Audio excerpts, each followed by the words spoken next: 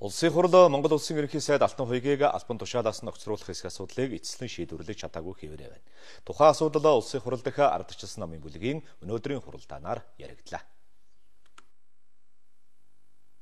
За Монгол улсын ерөнхий сайд Алтан хуйгийг албан тушаалаас нь огцруулах саналыг улсын хурлын 28 гишүүн гаргаж холбогдох тогтоолын төслийг улсын хуралд өргөн мэдүүлээд байгаа юм.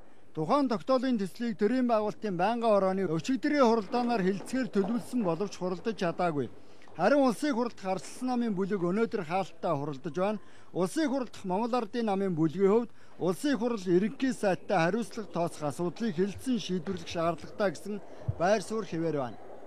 Улс орноо бодож, улс орны хэрэг шиг, намын хэрэг шиг дээгүүр тавьж, хувийн хэрэг шиг дээгүүр тавьж асуудал хандах хэрэгтэй. Харамсалтай нь өнөөдөр хувийн хэрэг шиг эрх мэдлийн төлөө тийм үү?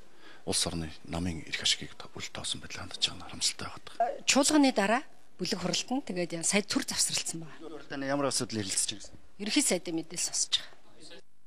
За харин улсын хурал үдээс хоош чуулганы нэгдсэн хуралдаанаа хийгээд байна.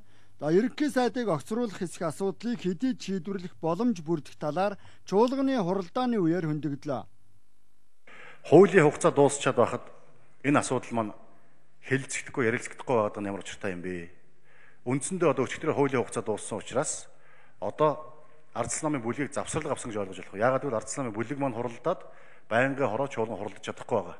Ерөнхий сайдыг огсруулах асуудлаар шудраг ёс эвслийн бүлэг завсрал гарсан. За энэ завсралгаа нь өчигдөр дууссан үнэн.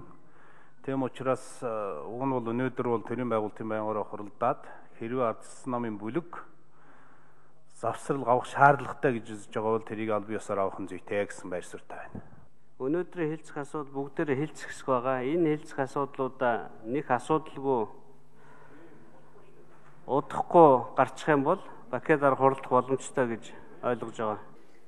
За чуулганы хуралдааны дэгээр бол ерөнхий сайдыг огцруулах хэсэг асуудлаар эхлээд төрийн байгуулалтын байнгын ороо санал дүгнэлтээ гаргах шаардлага үүсэт байна. Дараа нь улсын хурал тогтоолын төслийг ажлын 5 хоногт багтаан чуулганы нэгдсэн хуралдаанаараа хилцгээе.